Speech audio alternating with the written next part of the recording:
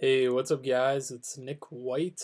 I do tech and coding stuff on Twitch and YouTube, and I have playlists for all the HackerRank and LeetCode solutions.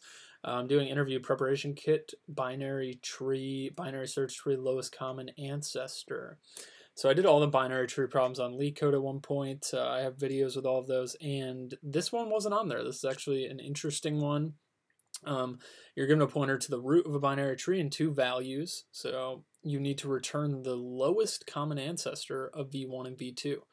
Um, so what is the lowest common ancestor? Well, they give us a link here. Uh, this article about the lowest common ancestor in graph theory and computer science, two nodes v and w in a tree. Um, the lowest common ancestor of two nodes v and w in a tree is the lowest or the deepest node that has both V and W as descendants. Okay, so V1 and V2, the lowest common ancestor is the deepest node that has V1 and V2 as descendants. So in the example we're given here in the diagram above, the lowest common ancestor of 4 and 6 is 3. So it's the deepest node that has 4 and 6 as descendants. So we're given two values, 4 and 6, deepest node, that has them as descendants. 2 has them as descendants, but it's not the deepest node. 5 is the deepest node, but it only has 6 as a descendant and not 4. Do you understand? Deepest node. So how do we do this?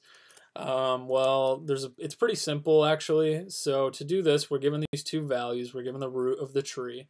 Um, first thing you got you need to realize is the deepest node that has the two values as the descendant is going to be on we're going to have to traverse towards those nodes because obviously the descendant is going to be either left it's you're going to have one node as the left child and one node as um, one not left child one one value is going to be on the left subtree one value will be on the right subtree no matter what right?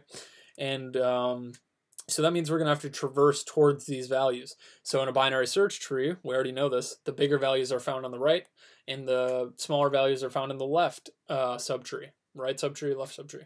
Um, so if we have our, if our values that we're given are greater in value than the root's value, then we're going to traverse on the right side. If the values are on the left, then we'll traverse on the left. So pretty straightforward there. And then once we've hit a condition where let's just let's just start coding. Okay, we already have the code here, but let's just recode it. Okay.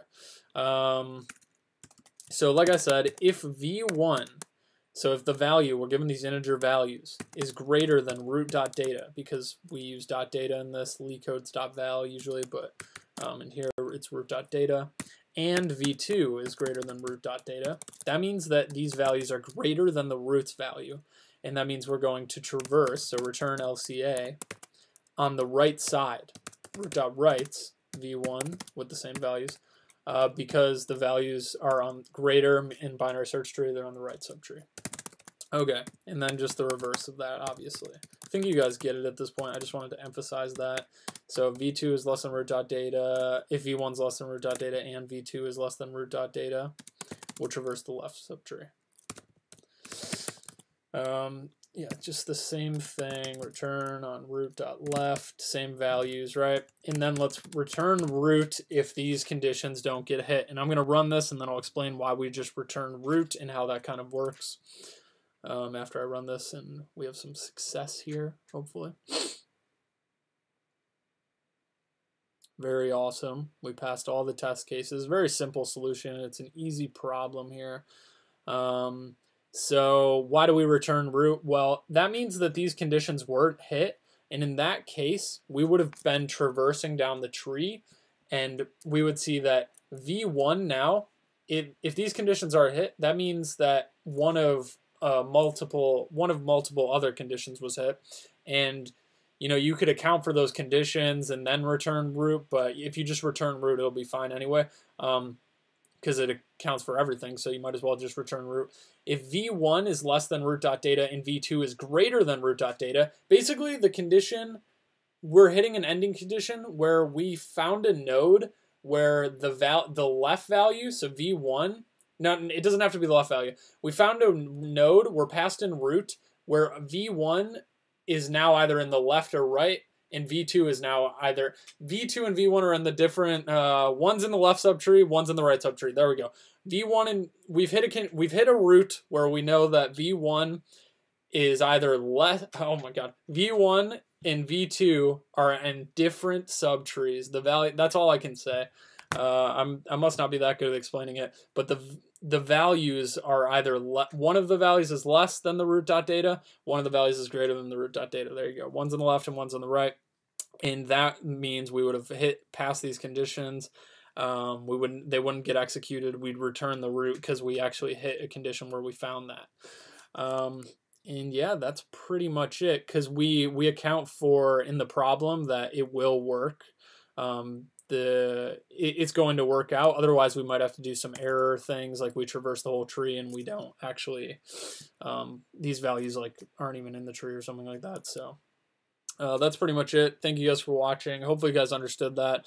Uh, I know this the uh, my my brain's been kind of tired today, um, but you know, I, I think I I think I did fine. You know, lowest common ancestor, deepest ancestor that contains both the descendants. So if it's four and six, then it would be three. Um, and you just got to find that. So you just traverse towards the nodes, and when you see that um, one node is in the left subtree and one is in the right, then you found it.